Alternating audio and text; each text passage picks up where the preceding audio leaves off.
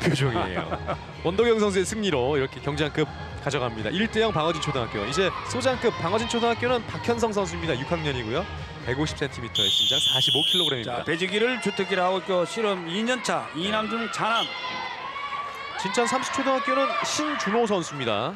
5학년이고요. 145cm의 신장 43kg입니다. 들배지기를 주특기를 하고 실험 7개월 차. 그러나 실험 7개월 차지만은 중결승전 경기에서 팀의 기중한 1승을 안겨줬던 네. 심준호 선수입니다. 이 소장급 45kg 이하 선수들인데 이 두 선수 뭐 앞서 경장급도 그랬었고 경장급, 소장급 모두 팀의 승리를 안겼던 선수들이 아프게 되겠습니다. 자 그렇다면은 배지기의 배지기, 네. 앞배지기 어느 선수가 힘과 파워를 동시에 가져가 상대 중심을 빼앗느냐에 달려 있습니다. 첫 자, 번째 판, 첫 번째 판 배지기 갑니다. 배지기 박현성. 아, 역시 더 강력한 배지기를 갖고 있는 박현성 선수가 먼저 한 판을 가져가네요. 네, 본인의 주특기 배지기인데요. 배지기로 첫 판을 챙겨가는 박현성 선수입니다. 방어진 초등학교 6학년에 재학 중입니다. 자, 박현성 선수 축구를 좋아하고 축구를 아주 남달리 더 잘한다는 네. 박현성 선수. 자, 역시 빠른 스피드를 보유했다는 것이거든요. 예, 축구를 잘해서 그런지 또 다리 힘이 좋을 것 같고요. 좋은 기술이 들어갑니다.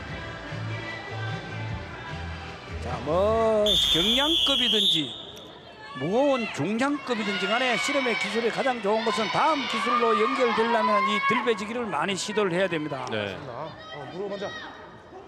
1대 0입니다. 팀간 전적도 1대 0. 방어진 초등학교가 먼저 한 체급 경장급 체급을 챙겨갔습니다. 자, 오늘 방어진 초등학교나 진천 삼수 초등학교는 역사적인 날을 곧 이제 어, 잠시 후에 맞이하겠죠. 그러겠죠. 팀 창단 이후에 그도 1988년, 1991년도에 창단된 팀이 아직까지 단체전 우승이 한 번 없었는데 오늘 예. 드디어 한 팀은 결정이 되죠. 두 번째 판.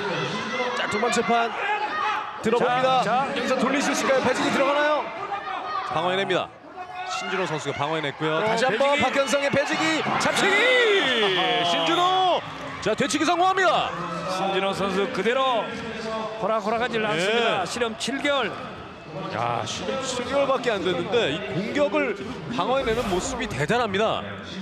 신진호 선수가 피아노를 잘 탄다고 했는데 역시 건반 위에서 아주 잘 타듯이 모래판에서 아주 잘 타면서 한 예. 판을 많이 했어요. 참 리듬감 있어요. 그렇습니다. 이 상대 공격을 잘 피했습니다. 그렇죠. 아주 리드미컬하게 네. 상대 공격을 방어를 하면서 대치기를 성공시키는 신준호 선수. 자, 이렇게 되면 이제 모르겠네요. 1대 1이 됐어요. 중요한 한 판이죠. 네. 만약에 여기서 삼수 초등학교 가져간다면은 지금 어린 선수들이기 때문에 팀이 2대 0으로 끌려갔을 때는 뒤에 선수들이 사실 발자국 잘 못 옮겨 놓아요. 네. 긴장을 많이 하고 있는 그런 네. 상황이 되거든요. 어, 또 학년으로 봤을 때이 방어진 초등학교는 전부 6학년 학생들로 구성되어 있는데 진천 삼수초등학교는 앞서 이제 경장급의 서광석 선수도 그렇고 소장급의 지금 신준호, 5학년이 더 많죠. 네, 네 역사급의 명이. 이수영 선수 또 장사급의 임규대 선수도 5학년이에요. 그렇습니다.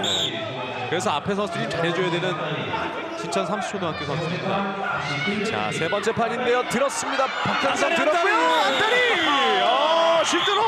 신준호가 결국 자, 소장급을 가져갑니다. 실험 7개월 만에 신동이 야. 해냈습니다. 정말 대단한 선수가 역전승 결국 소장급 챙겨가는 진천 삼수초등학교 팀간 전적은 이제 1대1 균형을 맞췄습니다.